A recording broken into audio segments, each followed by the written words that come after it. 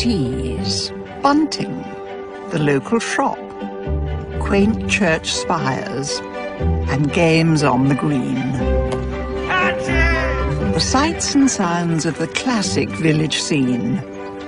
Everyone has their idea of the perfect village. I know I do. But I've lived in a village for almost 40 years. Come on, girls! And I know there's more to village life than the picture postcard suggests. So I'm setting off again to explore the world of our smallest communities. Don't you envy me? I'll travel by land. It's colder up here, Hedge. By water. He's a biggie. He might live. and by air. Heavens above. To find the characters and communities that have made a big impact. My window on the past is the Batsford Guides, whose words and pictures from the 1930s tell a story of village life. But I want to find out what it means to be a village today. Oh, they're going to throw him into the sea.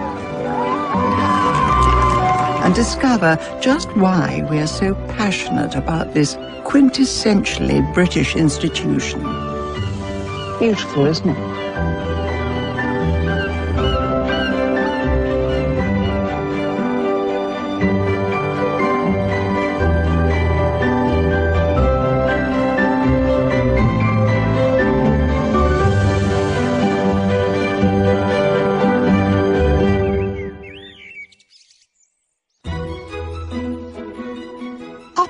The country, more than four million of us live in a village.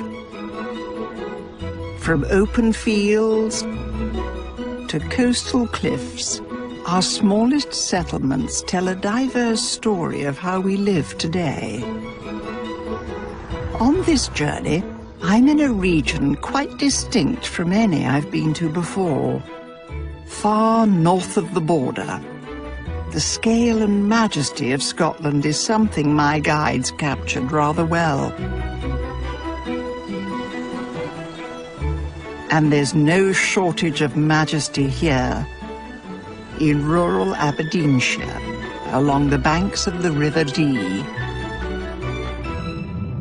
Deeside's special to me. My Aunt Moll, who was my godmother, my mother's cousin, married a Scot called Harold Aiken. And so in my school holidays, I used to come up and stay with them. And I had the most wonderful times. I know Deeside is a fascinating place.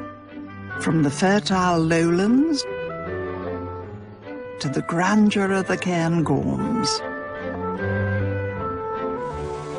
For someone coming from London, Deeside was wild and adventurous, with vast open spaces and few people.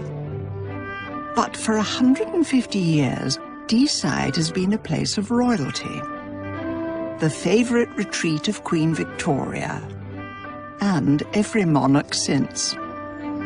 So, upstream and downstream, I'm exploring what is now Royal Deeside to visit the people and places that make up this unique Scottish valley.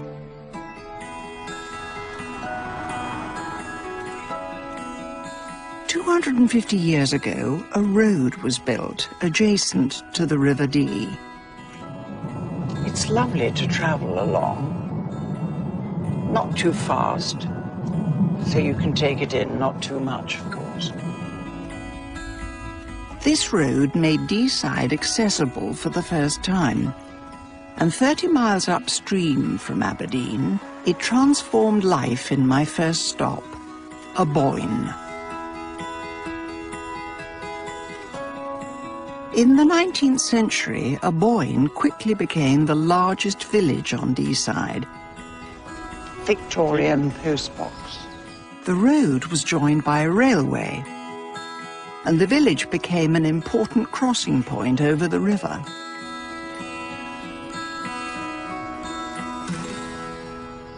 Once you leave the main road, the atmosphere begins to change. It's quiet and beautiful. And the landscape changes too. There, I think, is my first real mountain, Craigendinnie, of 1,100 feet. I'll see what Mr. Batsford has to say. The road to Aboyne, after the soft hillsides, was hard and unexciting, although it passed through a dense, cool wood out of reach of the sun and one could stand on the bridge over the Dee, enjoying for the first time the sweep and rush of a great river. And there it is, so beautiful. Looks wonderful from here, but um, I believe there's a better way to see it, and I'm going to try that.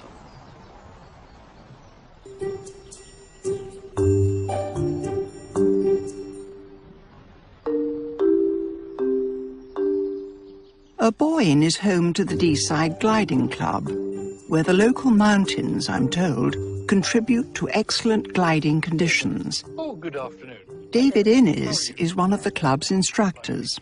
Why should you have gliding here in the middle of Deeside? It's the most marvellous place for all-round soaring potential. People have set UK records for gain, height gains here. Really? The two-seater height, height record was 38,000 was flown from here. Because the, Be- uh, the- because there's rising air comes over the mountains at all times of the year. It's like the pebbles of a stream. The air flows over, it starts to oscillate. Oh, and, if- and if you get in the upper part of the air which is going up, upwards, you can go on going for tens of thousands of feet. how well, long can you fly? Some of us have flown for over five hours to, ga- to gain a badge, and the glider over there on Wednesday, it was airborne for 10 hours. it- now, look, I don't need a badge. Indeed. But I would rather like to have a little Indeed, fly. absolutely. Okay, over your shoulders. I'll take the weight. Someone had thinner legs than me. Excellent. There we go. Now, are you comfortable? Would you like a cushion? Yes, I'd love a cushion. All right, now it's rather like a sports car, so it's a rather reclined seating position. Oh, that's nice. There. Right. Good. Coming over gently, Yes, very nice. Oh, that's good. smoothly. Do I do anything? No. And it's locked. It's locked. Roll out, please. Oh, it's nice. All these people pushing me. It's lovely. I, I'm enjoying this. Good, good, good. Yes, this is good. I like seeing other people working. Indeed. Ready to fly? Clear the area.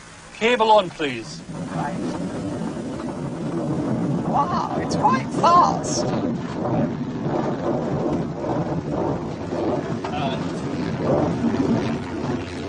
Just Wherever. And staying low, behind the tug. Wave to the guys. I did. Okay. And then uh, now And we just we are. fly information behind the tug. I love it. Gosh. Oh, and there's the river. Indeed. Oh, crikey, that's amazing. From up here, I can see just how different Deeside is from the other areas I visited on my village travels. And the river twisting, turning beneath us. Oh, heavens, that is wonderful. Communities are few and far between. Fascinating. Yes.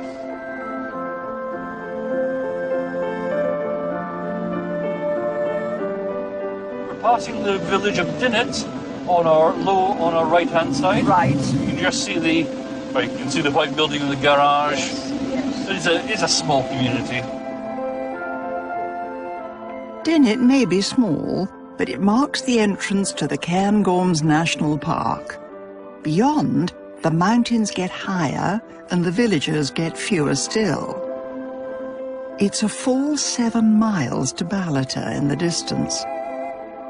Upstream, you'll find fewer than eight people for every square mile.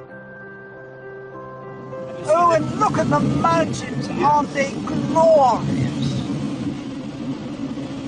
You can see all the curves and the wonderful shapes. Apart from mountains and the river, the other important factor here has been the huge estates. Vast swathes of land, over half a million acres, predominantly owned by about 10 people. Gorgeous. And in the distance, I can just glimpse Lochnagar, the highest point on the Queen's Balmoral estate. That is the centre of Lochnagar on the nose, virtually on the horizon now. Wow. You see, the poet Lord Byron lived in this area for a time when he was a child, and he wrote a poem about Loch Nagar. England, thy beauties are tame and domestic, to one who has roamed over mountains afar. Oh, for the crags that are wild and majestic, the steep frowning glories of dark Lochnagar. Landing area is clear. Speed's good, straps tight. Yes. Okay, good, good, good. Uh, just stopping the dive, holding up, up, up. Very good landing. Oh, I- I've done better, I've done better. There we go. The wing will eventually drop. I'll make sure it's the left wing. Oh. oh, And there we are. brilliant. Excellent. Gosh, that was lovely. Marvellous. Terrific. Good. Glad you My enjoyed it. ears have gone, but it was wonderful. I can hardly get up. May I, may I offer you a hand? Yes, but I don't think I'm going to be able to get up. Well, shall we? Shall I we? think the camera has seen enough of me trying to get out of a glider. Thank you very much. Next, I'll be dropping in on Deeside's most regal village. Even in this age of selfies, the royal family are left pretty much alone. I'll be checking on the Queen's vegetable garden and inspecting Prince Albert's Highland handiwork. It's magnificent, isn't it?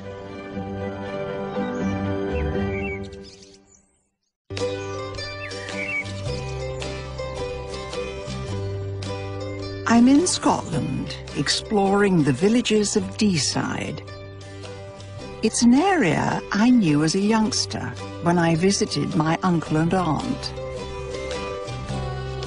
Heading upstream, I've reached the area that's seen the valley become Royal Deeside. The village of Ballater is just seven miles from the Queen's Balmoral home. More than any other, this village has benefited from 160 years of royal patronage. My Scottish guidebook is certainly very complimentary.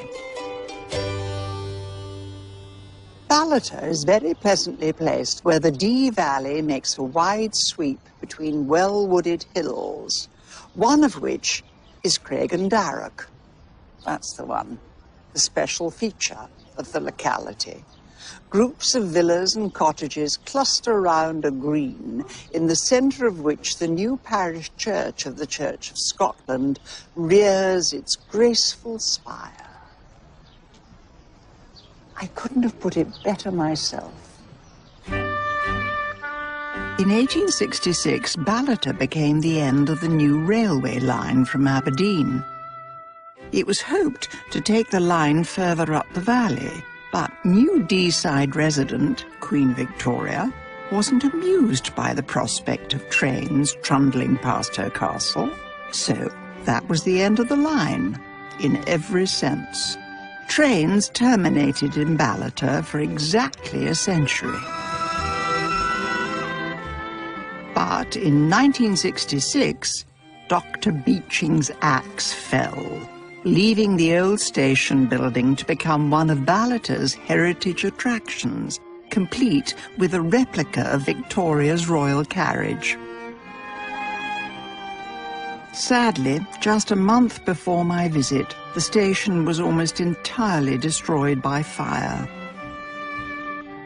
A very sorry end to the building that shaped modern Ballater.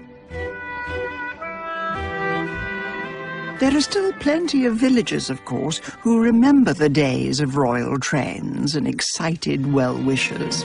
The quiet little Deeside town of Ballater comes into the news every summer. It's the station where the royal family arrive at the beginning of the annual visit to Balmoral. For a few weeks, there'll be a real rest for the Queen. We all wish her and her family a very enjoyable holiday. I'm Penny. Pleased to meet you. Pat Crawford and Sheila McFarlane saw all the regal comings and goings. After the royals went in their cars on up to Balmoral, we would run over to the fence over there and we watched them unloading their luggage. And there was, What was it like? They had the trunks and it said the nursery or whatever. Really? The little tricycles when the children were small, that went on as well. And did all the dogs come off as well? Yes, they Yes, went they off. corgis Yeah, yeah, well. yeah. And into the cars, yes. Years later, on a visit to the village, Prince Charles reminisced about those childhood journeys to Deeside. He said that there was no place on earth like Deeside. But even though everyone came to see them, they still went around and still go around shopping in The village, young don't they? ones come down. Camilla comes down. She does, bless her. The Duchess of Cambridge. Mm-hmm. I actually worked for the Queens of Bath, and Prince Charles opened the shop for us. Oh, lovely. Oh, that's nice. The shops in Ballater are the closest to Balmoral, and some are by royal appointment, a mark of distinction for supplying the royal household for at least five years. It's lovely talking to people like Pat and Sheila who've lived in the village for most of their lives. You get a real sense of what the place is like and its feel. And it strikes me that even in this age of cameras and phones and selfies, that the royal family are left pretty much alone. That's probably why they loved Deeside so much. Privacy and escapism were two of the biggest attractions for Victoria and her husband, Prince Albert, when they first visited the Highlands in 1844. The scenery reminded Albert of the wooded mountains of his German homeland. Just four years later, they found a home for themselves right here on Deeside. Not so much a home as an entire estate. On the south side of the Dee, there's now 50,000 acres of royal land. And at its heart, one of the most recognised buildings in Scotland, Balmoral Castle. This has been the private residence of every monarch since Victoria. The grounds and gardens are open to the public in spring and early summer. My first visit to Balmoral was rather unusual, though. My uncle was the Deeside vet, and when the royal corgis were under the weather, he would get the call.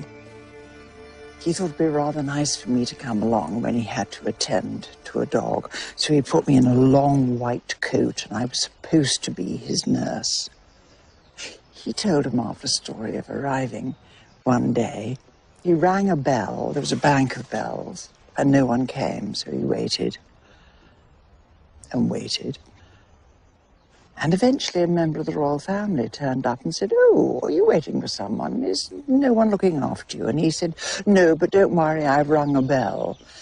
And he said, Oh, well, look, I tell you what to do. Why don't you ring all the bells? Someone will turn up eventually. The impressive size and scale of this Highland residence owes much to Prince Albert.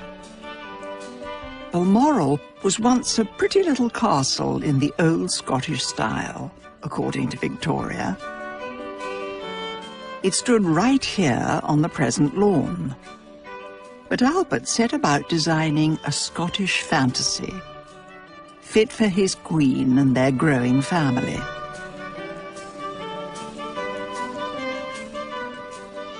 And just as it did in Albert's day, working life on this estate faces a particular challenge. Namely, from August to October, when the estate's owner is in residence. I'm told the Queen comes on holiday with her own florist. So I'm heading to the cut flower and vegetable garden to see how the head gardener, Alan Beattie, is coping. I'm Penny. Nice, Hi, nice Penny. to see you. It's difficult enough gardening anyhow in this country.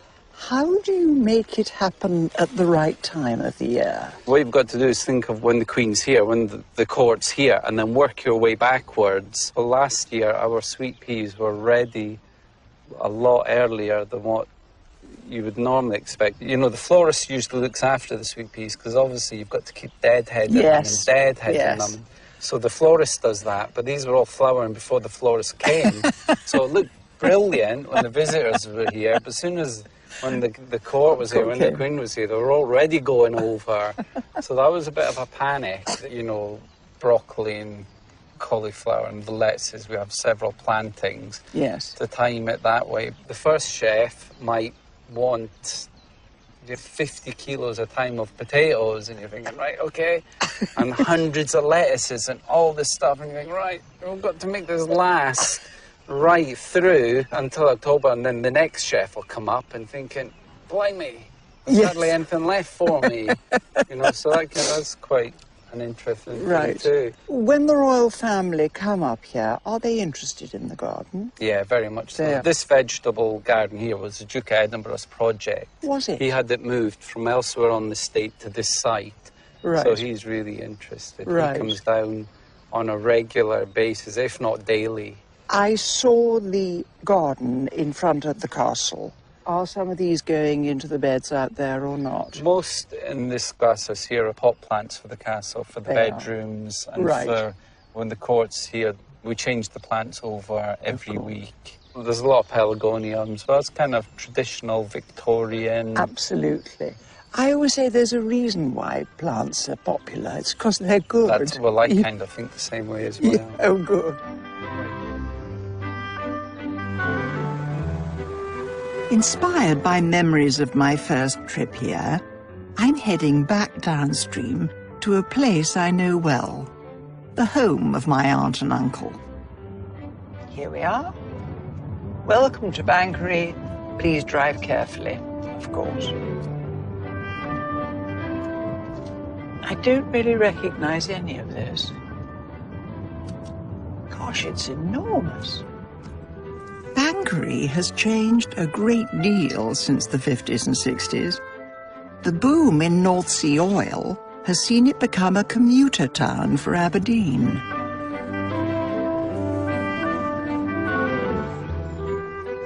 But I've come to Banchory today to visit my cousin Bill, who has lived here all his life. We can catch up on old times.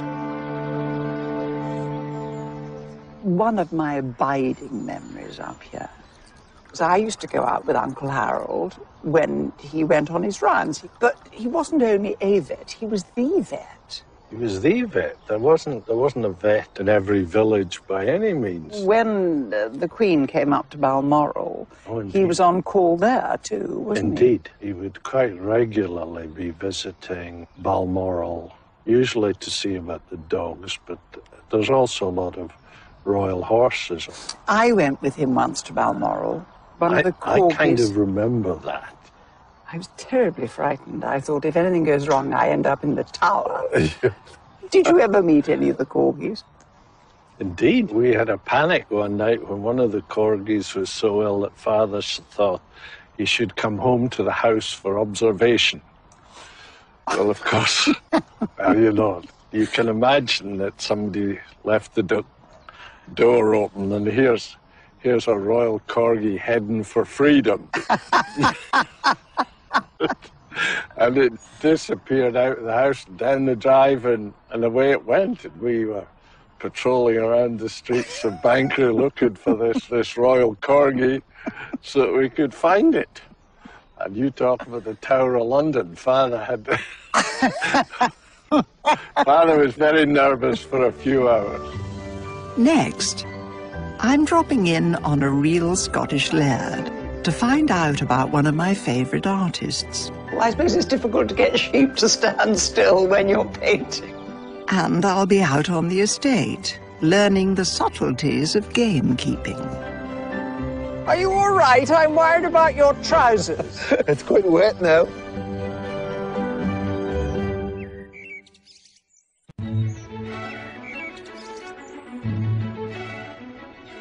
I'm in Scotland, exploring the villages of Royal Deeside. It's an area I know from my childhood, when I was captivated by the rugged charm of this mountainous landscape.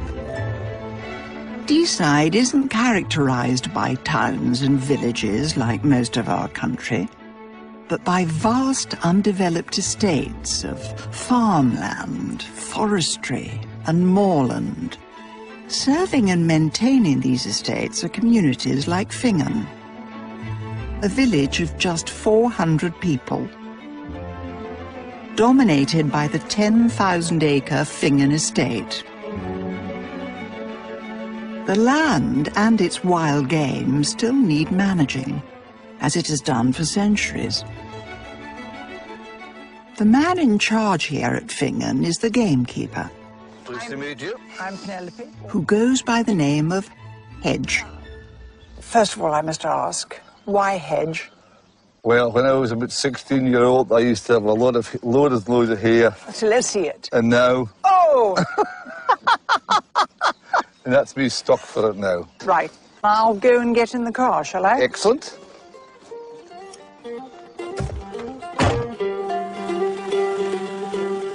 Hedge is taking me to Peterhill, where he believes Finzean's herd of deer should be visible this evening.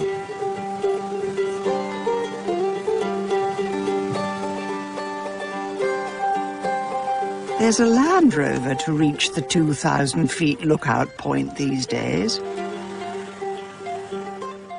But Hedge's Highland life is still reminiscent of John Brown, Queen Victoria's favourite gilly, who guided the Queen all over the Balmoral estate.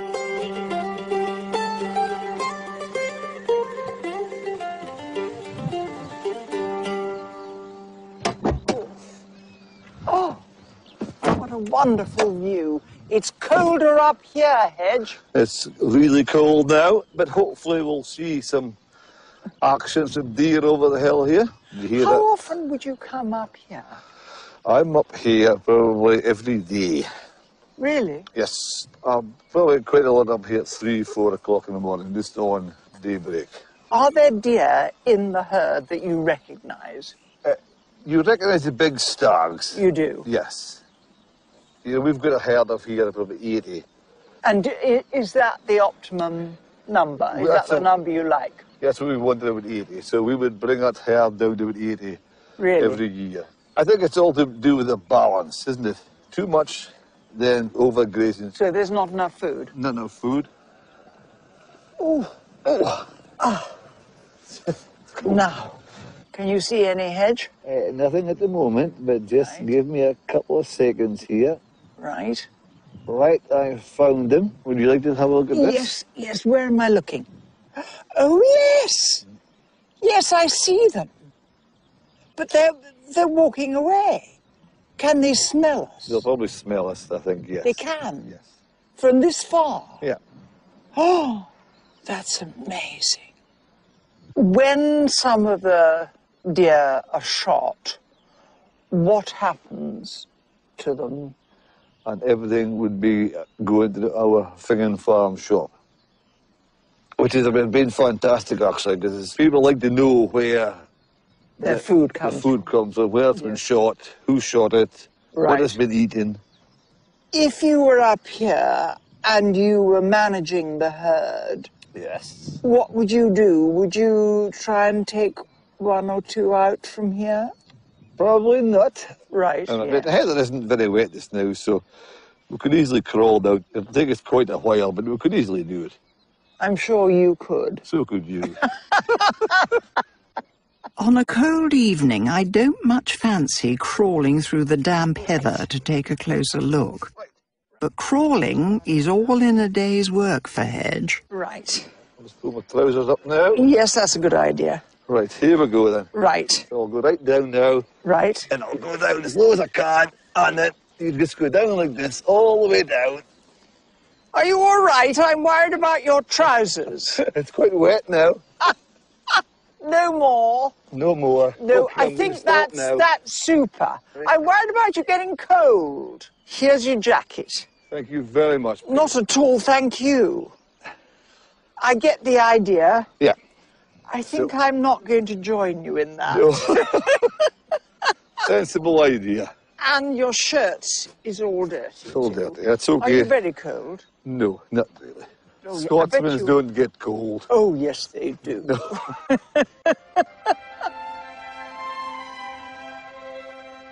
what an amazing experience to be up here, almost on my own, and see a herd of red deer.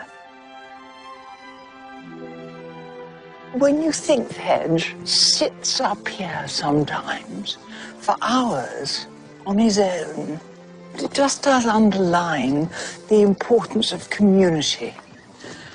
And I'm sure it's very welcome to go home, down the pub, have a drink and warm up.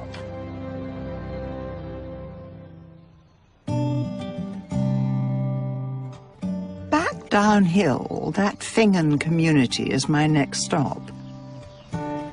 Except there doesn't seem to be much of a village. More an assortment of village features spread over quite an area. But then, space really isn't an issue in these parts. I'm heading to where some of Hedges' Highland game ends up. The only shop in Finzean.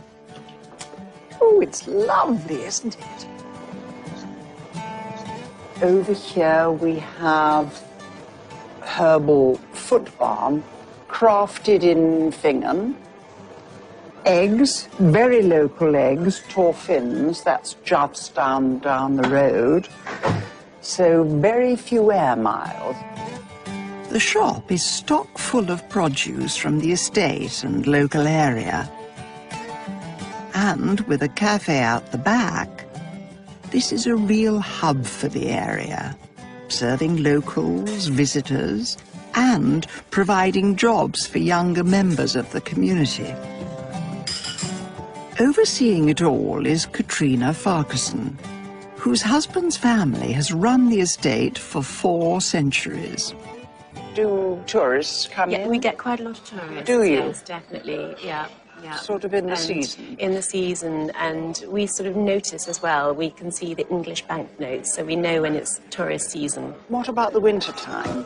When it's snowy, then you know we go and deliver things out. So deliveries get done in a tractor, which is all a bit bizarre. but- And what, what about the papers? Do they get delivered? The papers still, they come in the school bus in the morning. Oh, do they? The school bus, um, if the school's closed, then we don't have the papers. But generally, it's about five days a year we're snowed up properly, properly Really? snowed up. Really? Apart from that, we tend to, people tend to manage somehow. Brilliant. A tendency to snow is one feature that's brought me here to Finzean. The village was home to one of my favourite artists, someone who celebrated those local winter scenes. This also gives me an excellent excuse to meet the current landowner, or to use Deeside terminology, the laird, Donald Farquharson. Nice to see you. Thank you. Please, come in. One of Donald's predecessors was Joseph Farquharson, the painting laird. He lived at Finzean after the First World War but was better known for his paintings of sheep in the snow. You might recognize them from Christmas cards. This is a portrait of Joseph Farquharson. He's lovely with paintbrush in his hand. And he's looking terribly dressed up, isn't he? Well, I don't think you'd see artists today sitting for a portrait in a bow tie and looking quite as snazzy as that. And and you can see here this is this is a painting that he he did. Farquharson sheep. But they're local to the Highlands, are they? I mean, to here. He did use models of sheep as well. Uh, Really? They the the. Uh, a number of sheep were made by uh, a local taxidermist. So when you think you have seen one of those sheep before in one of his paintings, you probably have. Well, I suppose it's difficult to get sheep to stand still when you're painting. That, that's right. I think that's brilliant. Joseph Farquharson originals are now much sought after. In his life, he had 200 works displayed at the Royal Academy and was prolific in committing Deeside to canvas, including, of course, his own estate here at Finzean. These are all recognizably Finzean scenes. Yes. Which is rather nice. You can walk around and you can see he had his uh, mobile caravans. So he was painting on plein air and he would move his caravan to wherever he wanted to be. As well as being a very important and successful artist, he still had this enormous estate to be laird of. That, that's right. I mean, you can see in this picture down here the the, the staff that he was uh, he was Wow. maintaining. Um, that's him down sitting on the grass down there. Um, Wearing a kilt, I think. yes, Yes, yes. As I imagine, he probably did a, a lot of the time. Yes. For 17 years between the wars, Joseph Farquharson maintained this unusual juggling act. Part estate manager, part respected artist. When he died in 1935, all the tenants came out, and there, there was obviously a great love and respect uh, for him. I think you see that in his pictures. You know, there, there is a sensitivity, uh, uh, a love of the countryside around him.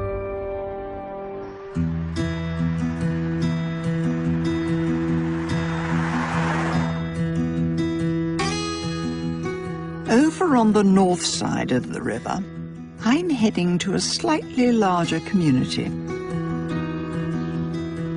Furthermore, Tarland feels like a classic village. As you can see, it's set round a square, and all the buildings are typical of northeast Scotland. And there's quite a few businesses here, too. There's a toy shop, and a pharmacy, oh, and a hairdresser. And let's face it, we all need a hairdresser at some time. Don't be fooled by the empty streets this evening. There's a thriving community of 500 here. And tonight, a fair number of them are in the pub.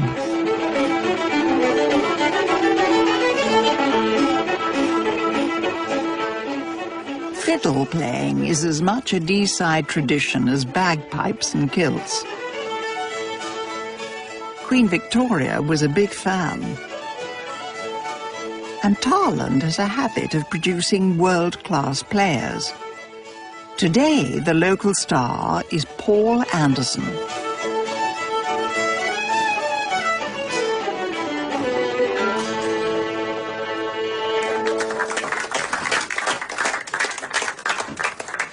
Now, this is your local pub.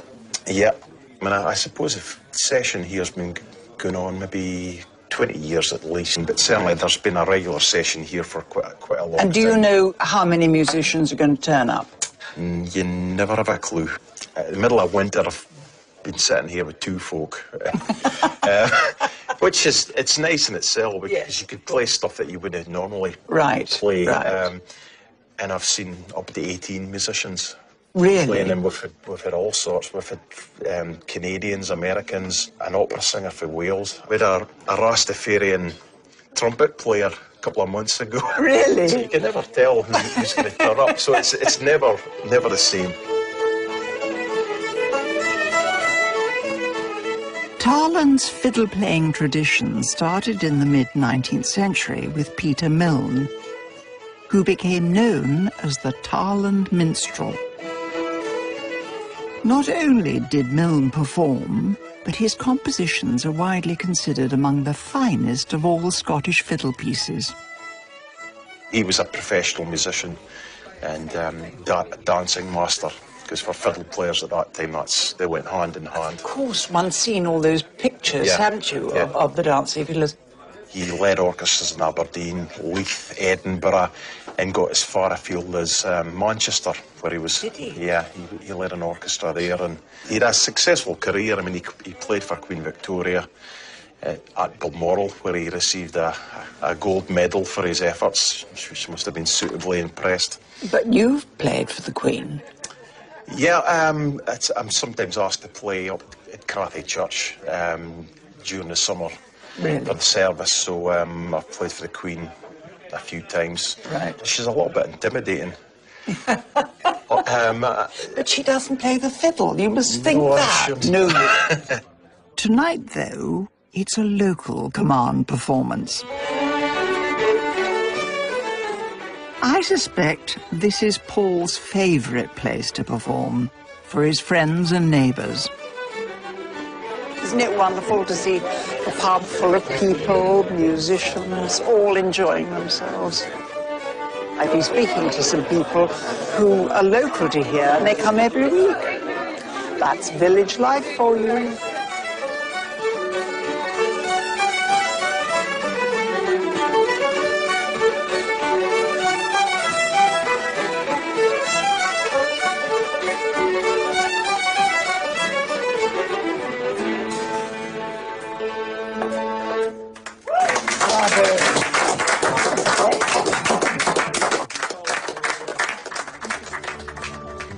Next, I visit the upper reaches of Deeside, where as a teenager I attended the famous Highland Games. I haven't been here for 60 years. That's a terrible admission. And I see how the younger generation are embracing Deeside traditions. My cheeks were Yes, exactly.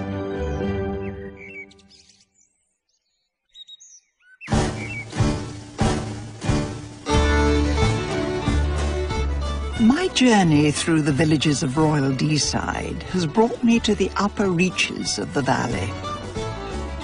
All along this road, you feel you're following the river. It keeps coming in and out of view, twinkling away in the sunlight today, which is glorious. Deeside's highest village is well known for its Highland traditions. Braemar. Very well, thank you. It's a pretty village, but Braemar's history is, like the local landscape, wild.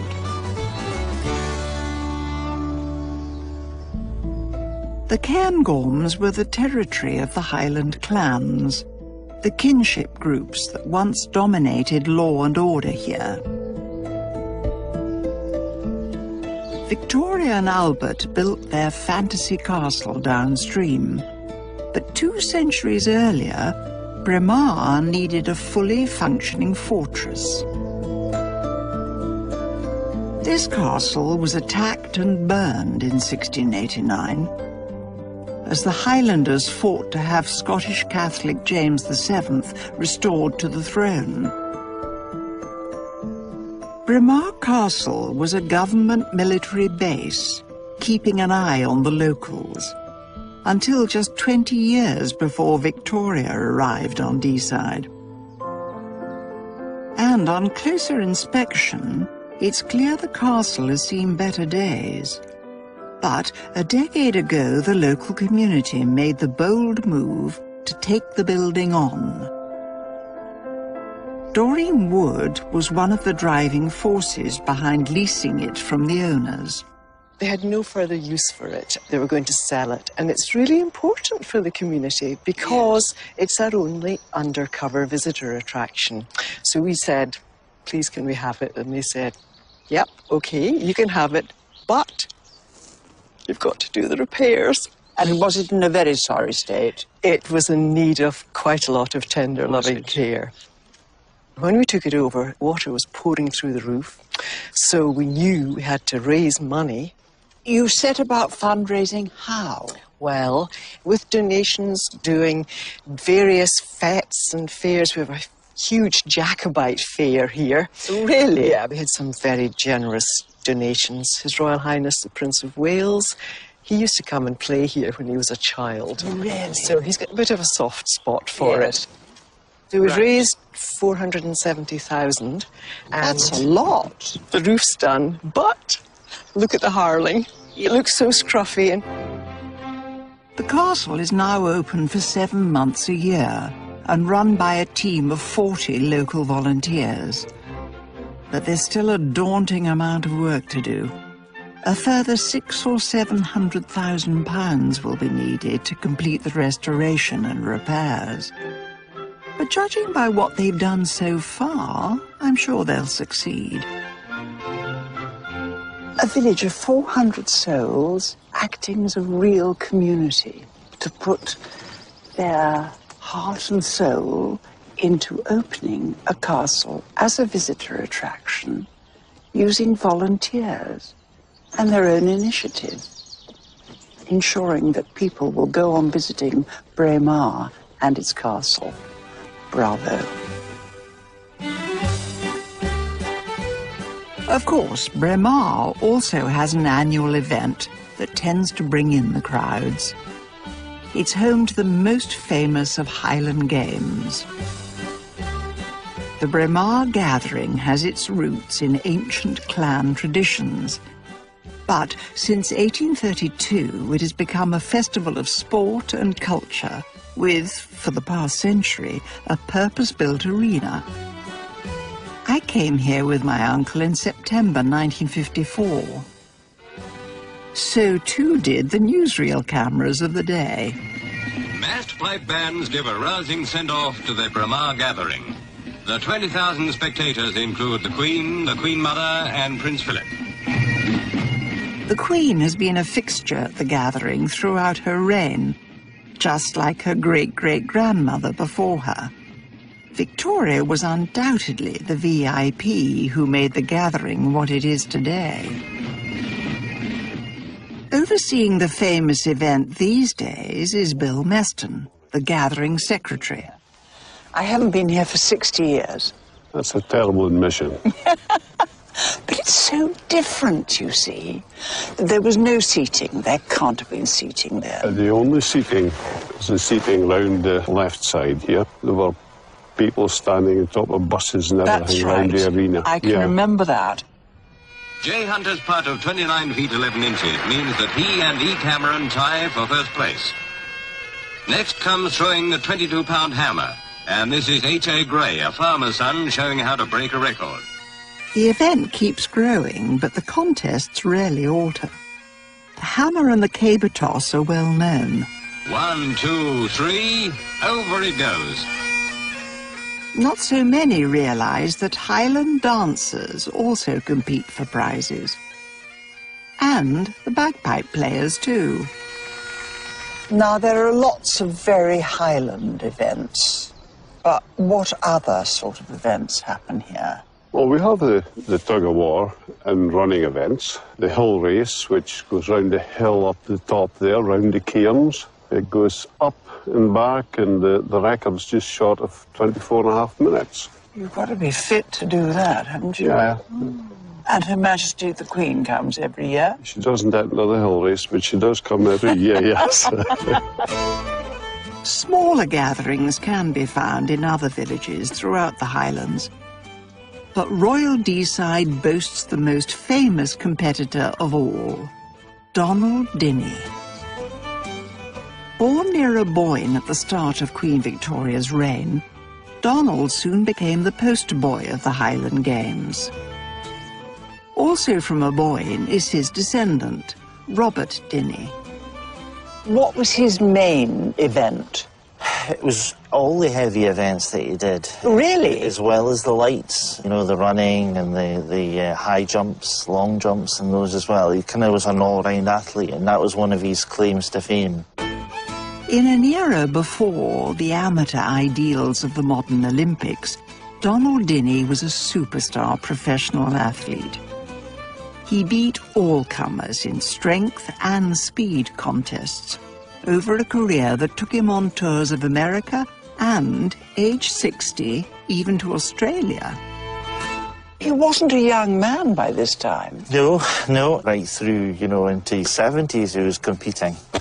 Um, maybe not at the same level, but, But he, he was, so. he was still competing at a decent level. Dinnie has been cited as the greatest athlete of his century, except that he was still competing in the 1900s. If the state pension had existed, he could have claimed it. Instead, he became the face of a classic Scottish soft drink. Characters like Donald Dinnie have helped Highland culture become famous worldwide. And nowhere is it better displayed than in Braemar. But while I'm here, I'm intrigued to see how grand Highland traditions are regarded by the next generation. I'm dropping in on bagpipe practice.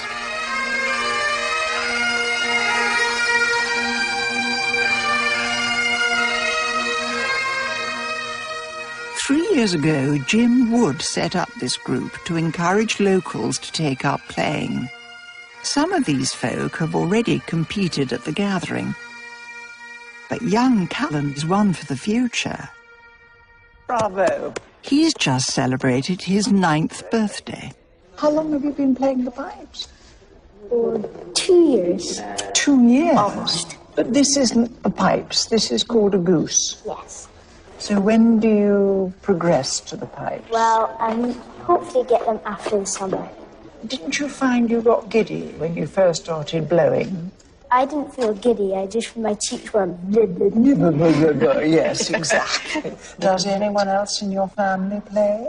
My dad does. He's back there. Oh, he's back there. Oh, that's terrific. But he only started the same time as me. So. Oh, did he? And is he catching up with you? Mm, well, I pick it up quicker, but he practices more.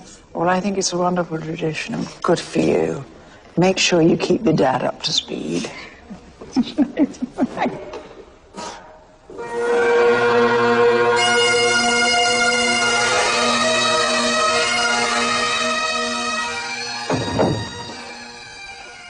Marvellous to see a group of youngsters, not all of them young, showing dedication and commitment and playing their socks off, really, and keeping tradition alive.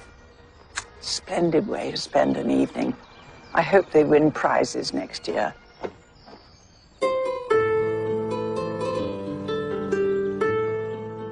It's a stirring climax to my final Deeside village. Even though it's summer, there's still a lot of snow on the Cairngorms. But there's still the Dee, which is rushing down still towards the sea.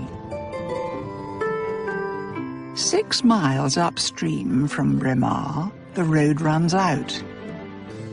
And at that point, so does my journey. This is the Linn of Dee.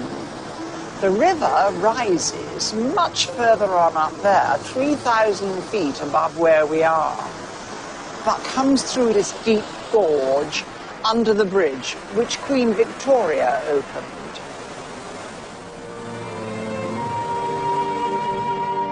The influence of Victoria has been evident throughout my Deeside journey. Her presence here saw this valley transformed by modern transport and by the public attention only she could bring.